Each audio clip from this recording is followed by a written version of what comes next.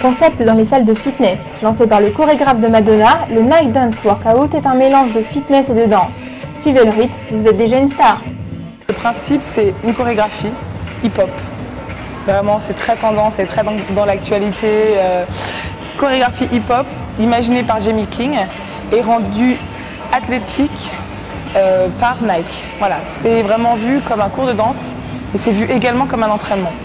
Voilà, c'est musculaire, c'est cardiovasculaire et, euh, et puis bah il y a tout le côté fun, le côté danse quoi.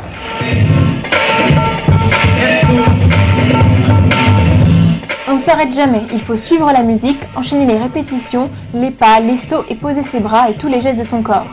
On maintient ainsi un certain rythme cardiaque et l'énergie se libère.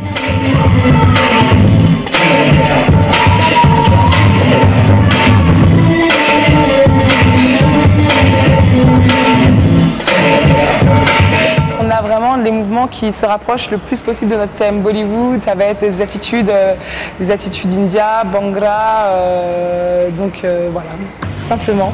Et bien sûr quelques pas de star pour pouvoir ensuite sur la piste de danse imiter Madonna ou Janet Jackson. Il y a bon des mouvements qu'on voit dans les clips de Janet, de, de Michael. C'est vrai que tout de suite quand on donne des, des- des- des emblèmes comme ça, les, gens ça leur permet de vraiment se détacher de la chorégraphie, de savoir où est-ce qu'ils en sont. Quand je disais Tina Turner, bon bah là c'est une question d'attitude. Euh, euh, thriller c'était les bras, euh, voilà, Thriller, le clip de Michael, euh, super connu. euh. Voilà, tout simplement. C'est des références, c'est des, petites touches comme ça qui font que bah, les gens ils savent où ils en sont. Et en même temps, ça leur permet de ne pas trop trop euh, réfléchir euh, et de se lancer dans la chorégraphie, tout simplement.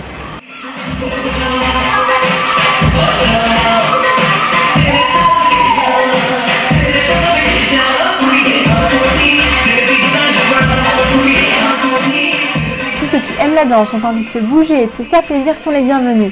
La chorégraphie est simple à mémoriser. Au bout de trois séances, vous serez dans le move et vous rentrerez chez vous avec un sourire jusqu'aux oreilles.